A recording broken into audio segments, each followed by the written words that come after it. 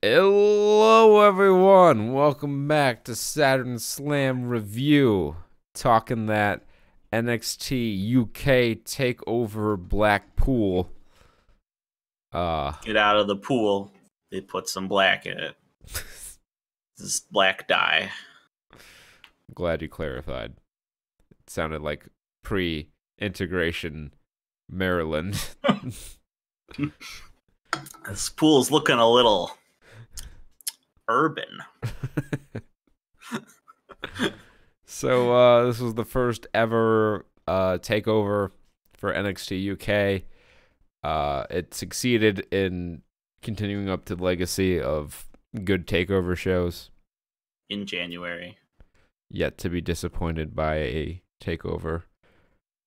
Um, this was a fine show.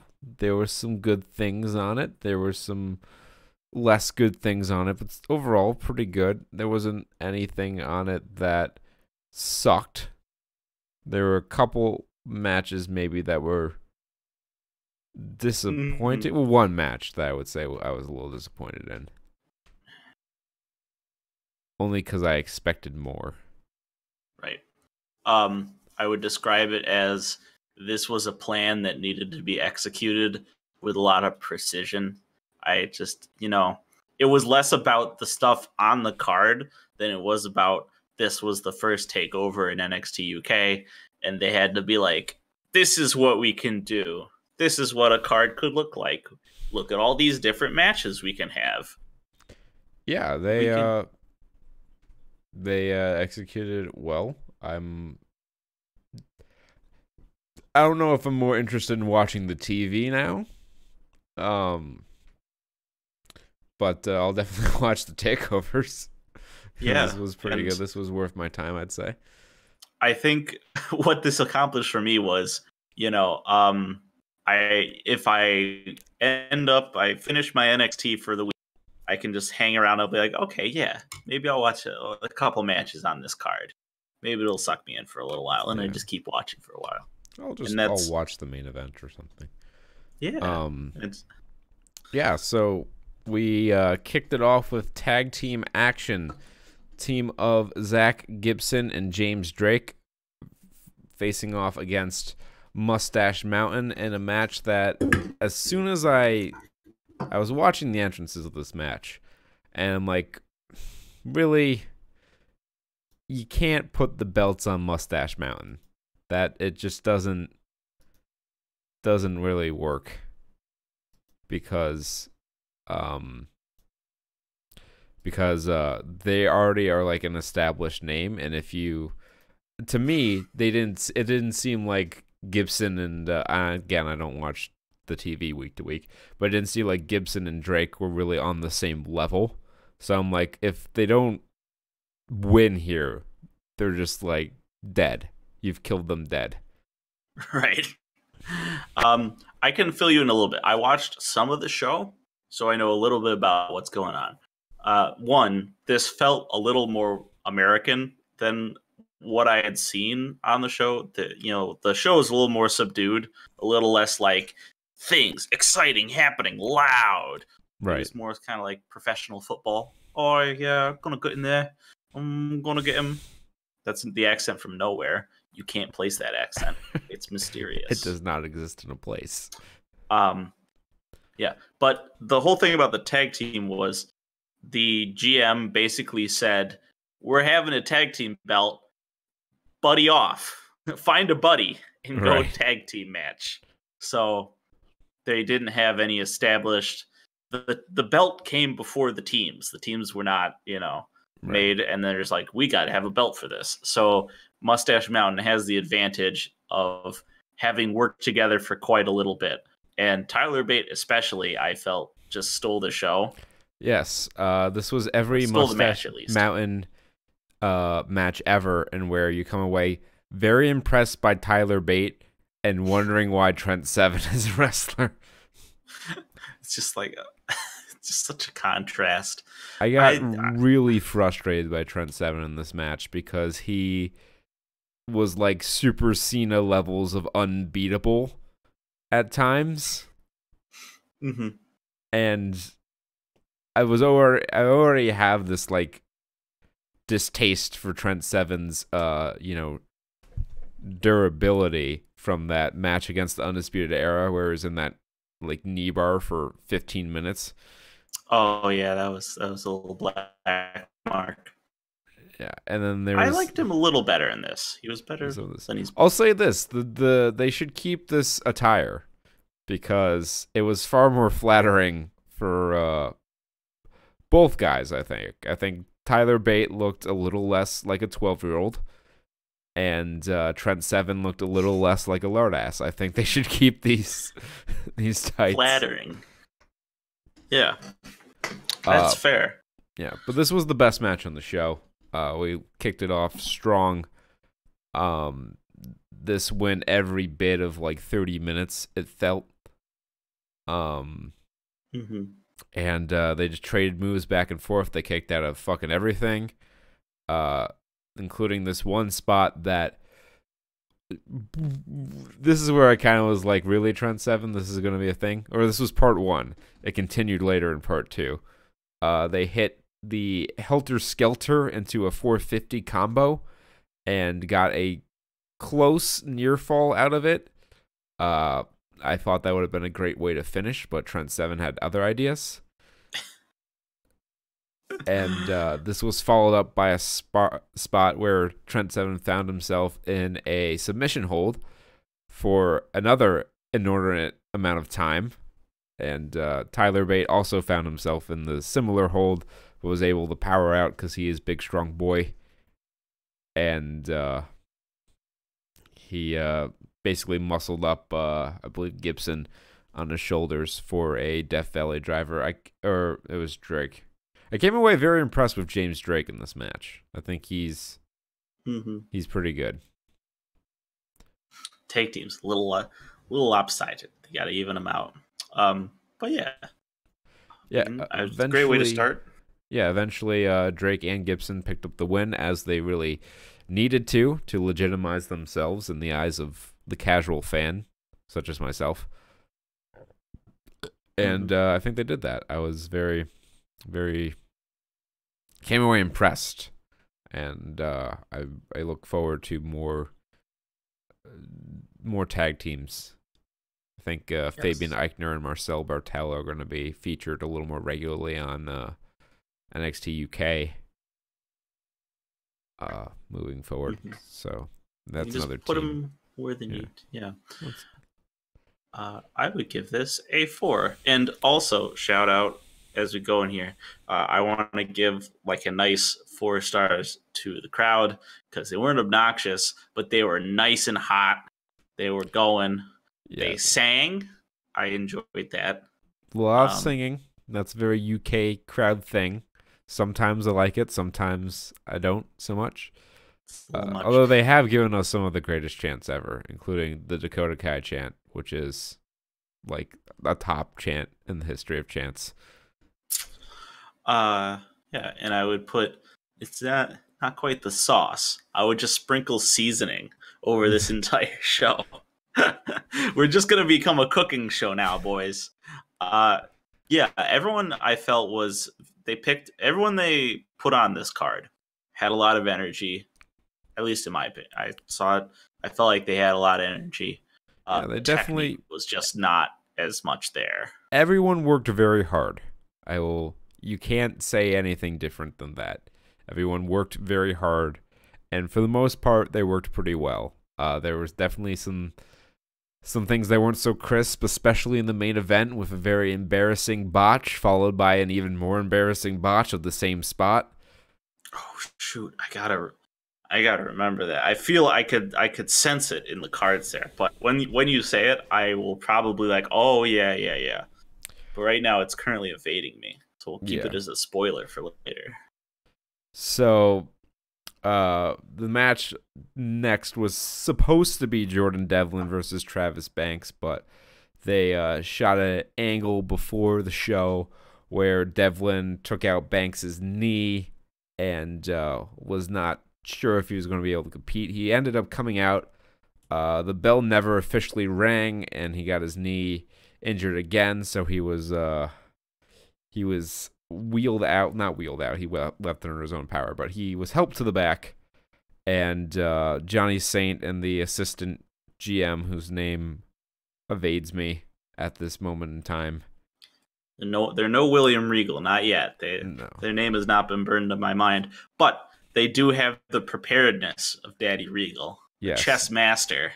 They had anticipated Jordan Devlin's uh, actions, so they secured for him a backup opponent, and that man was none other than Finn Balor, who got uh, a monster reaction, as Yeah, you I- would expect.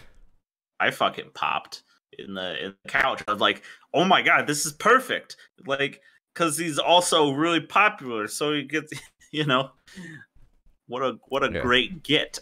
So uh, Finn Balor wrestled his mini me here, and it was uh, it was pretty good. Um, not the most exciting Finn Balor match I've ever seen. Um, maybe the most exciting Jordan Devlin match I've ever seen. I think I've only seen like three of his matches, uh, including this one. So this was the tops of that list. Uh, it was good. Devlin got the heat for I think too much of the match, especially when you consider that Finn Balor is going to be wrestling Brock Lesnar at the Royal Rumble for the United States for the Universal title. Uh, maybe should have been a little a little bit stronger in this uh, win here, but uh, At the it- same time, though, I feel like you know it. It was fairly easy to tell. You know, you could feel that Finn Balor was like he was carrying this. He Yes. was pull. He was pulling a really good match out of Jordan. Jordan is not the pieces are there. He just hasn't put it all together and he doesn't have his own like unique uh style. I call him Balor's mini me because that's like that was the story in the UK tournament is that he's Balor's protege and like he tries so hard to be Finn Balor but he just doesn't have the same level of ability. Mhm. Um, I hope for his sake that one day he he puts it together and kind of figures out how to be Jordan Devlin and not poor man's uh, Fergal Devitt because WWE already has one of those, and I don't think he's got a path to the main roster until he can kind of figure it out for himself. Uh, but this match was fine. Finn won with the uh, sling blade, shotgun, drop kick, coup de grace, finishing sequence. Um, like two and a half stars, half a star awarded strictly for the uh, surprise of Finn Balor of all people uh, wrestling on the program. I'll give it. I I'll give it three.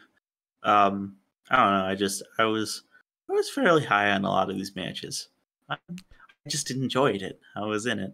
Yeah, I mean, this wasn't a bad match. I just I wasn't super entertained by it. I was, however, extremely entertained by this next match. Bomber Dave Mastiff versus Eddie Dennis This in is no DQ match. this is my kind of match right here. This is the type of wrestling I love. I like a good scientific wrestling match, but nothing warms the cockles of my heart quite like a you know gimmick filled slaughter fest. Like one of my favorite matches of all time is t- TLC 2 from WrestleMania 17 because it was just a fucking car crash of a wrestling match. And I love car crash wrestling sometimes, and this was the personification of car crash wrestling. Dave Um, Mastiff is Otis Dozovic, but Super Saiyan. he's, He's a Super Dose, mean- Super Steak. super steak. Um, that's a. I would like to see like a strange bedfellows tag team of Mastiff and Dennis versus Heavy Machinery. Oh my God. The mirror match. It's like the the uh, Bizarro Seinfeld. yeah. Um, but this match was a lot of fun. They they got the plunder out. They used kendo sticks. They used the steps. They uh, used uh, chairs. They they they threw everything at him. Uh, Dave Mass. They used tables, of course. Uh, Dave Mastiff was a big boy. He didn't really no sell some things, but he he got his offense in and looked fairly strong throughout the match. But Eddie Dennis, not to be outdone, showed some impressive feats of strength, hurking up Dave Mastiff, who they billed at like 350, and I believe that 110%. I think they may have even like billed him at less than his real weight. He is a thick boy. just he's so large. He's and when I saw the table, meatball of a man.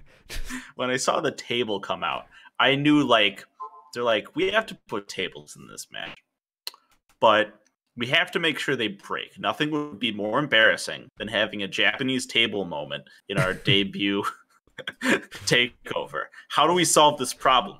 We get the Boss, two. I got it. We bring in the largest men on earth and we We have them do a wrestling match. We have the giant. We have the two biggest motherfuckers we got on this show.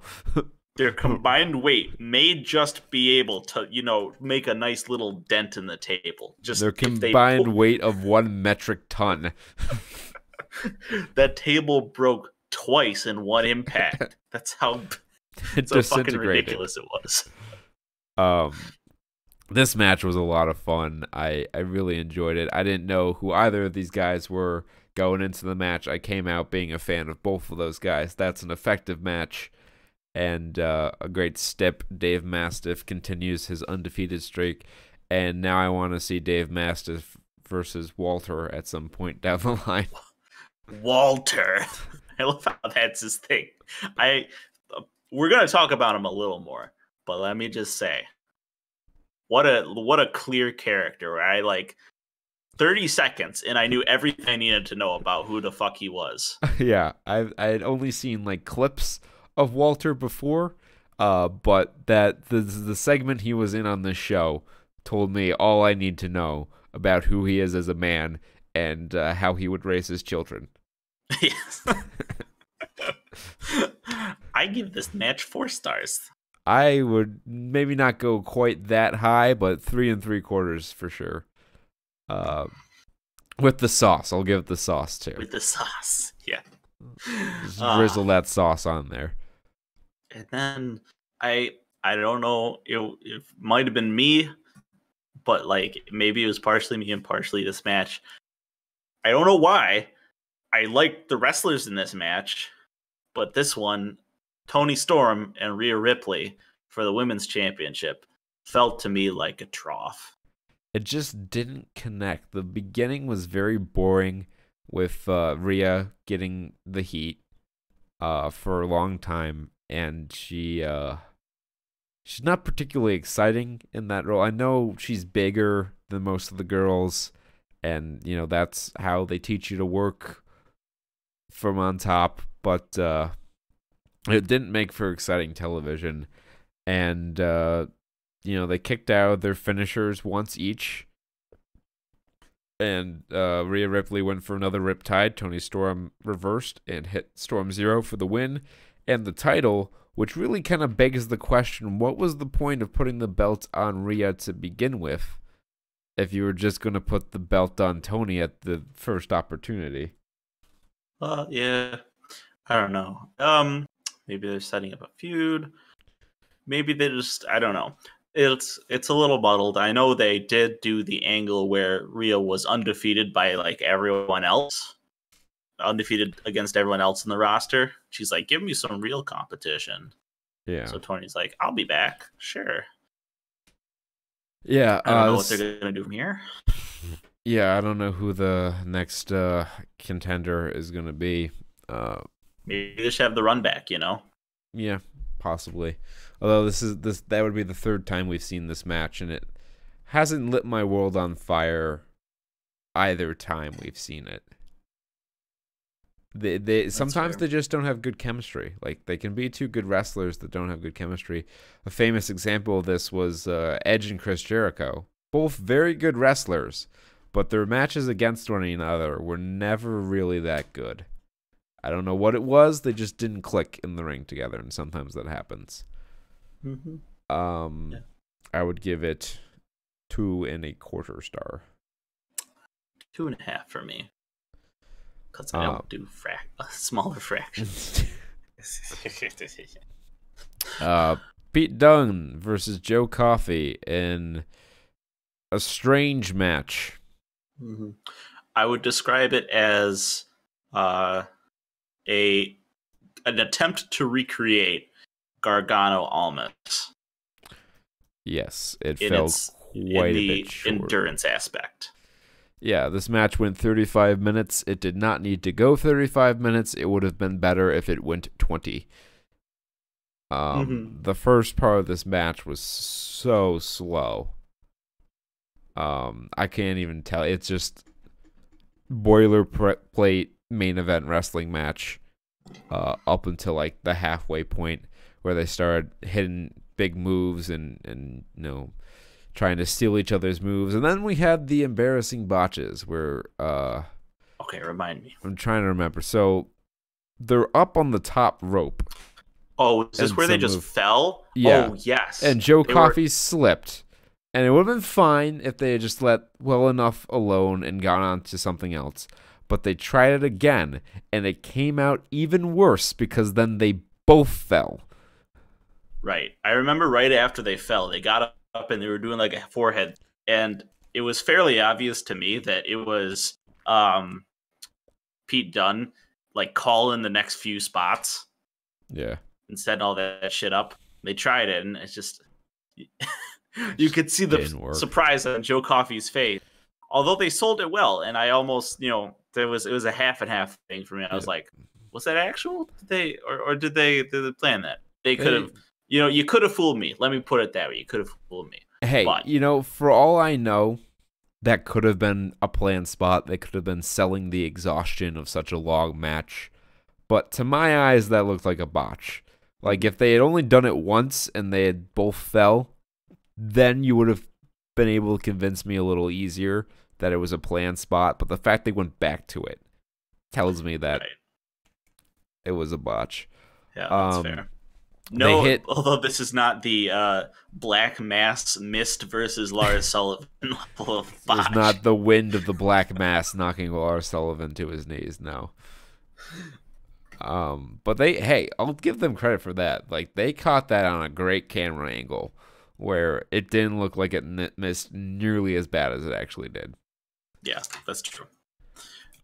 So Um, there was there's a lot of submission stuff. The story, I guess, the story of this match was Coffey is bigger than Pete Dunne, but Pete Dunne does submission stuff. But the thing about it is that that's the story. But Joe Coffey really isn't that much bigger than Pete Dunne. He's shorter than Pete Dunne, and he's a little bit thicker than Pete Dunne. But he's But not has like his fists. Supposed to be stronger. he's not like more muscular than Pete Dunne. He's just like fatter. The old uh, Nia Jax problem. Yeah. So they hit each other with everything. They kicked out of everything.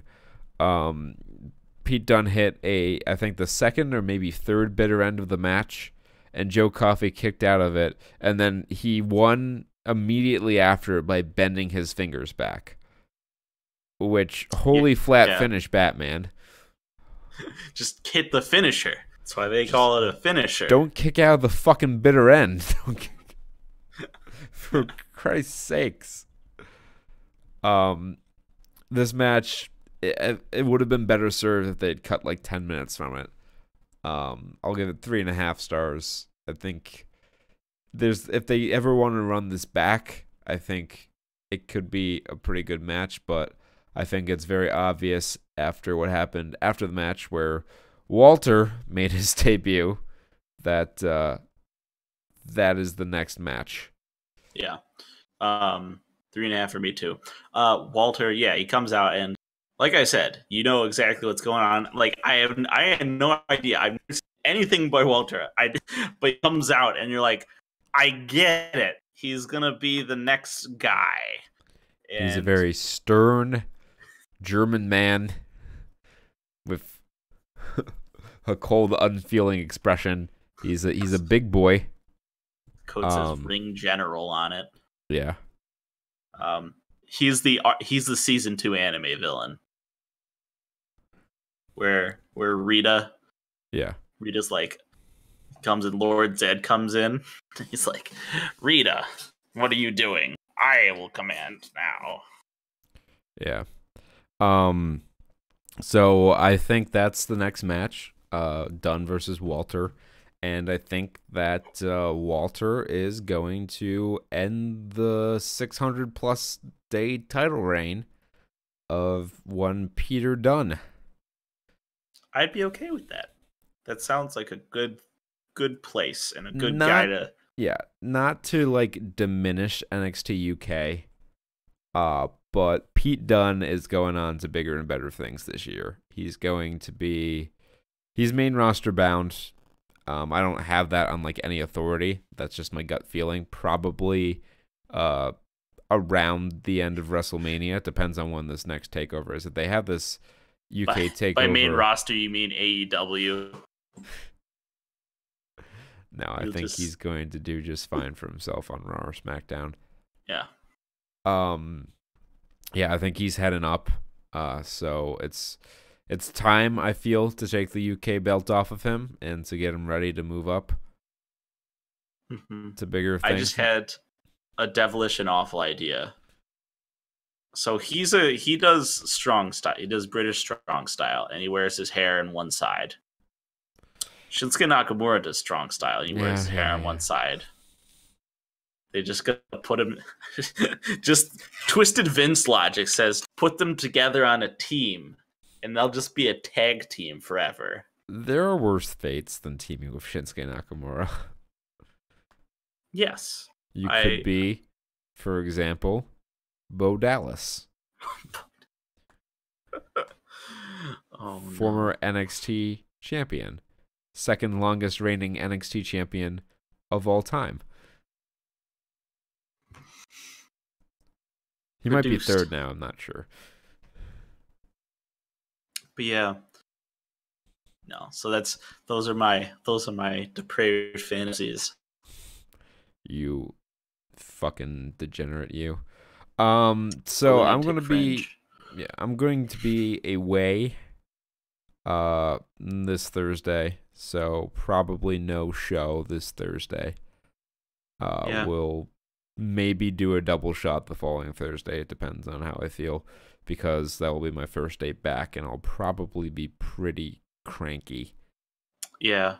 Um I don't think there's gonna be too much this show.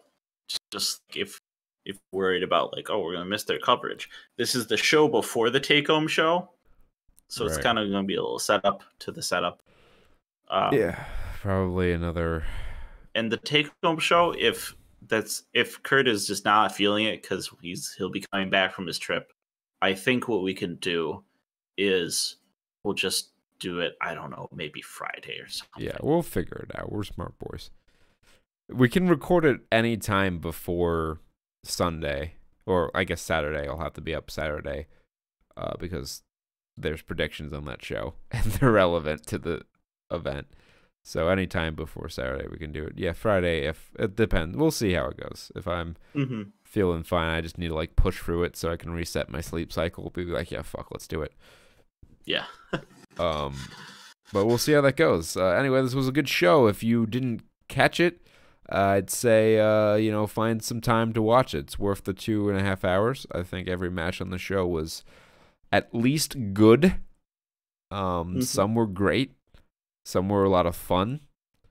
Uh, it was a hot crowd, and uh, I'd say they delivered pretty well for their first shot. And I look forward to the next takeover because I want to see this Walter fellow wrestle. I've heard good things. He's got his own class. He's the Walter weight. Ha ha ha. MMA jokes abound. All right, But- so that's gonna do it for us. We'll catch you all next time. Peace.